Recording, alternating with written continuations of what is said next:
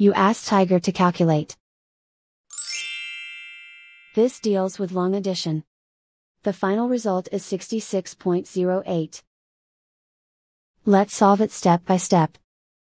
Rewrite the numbers from top to bottom, aligned by their place values, add up the digits in each column, from right to left. 2 plus 6 equals 8.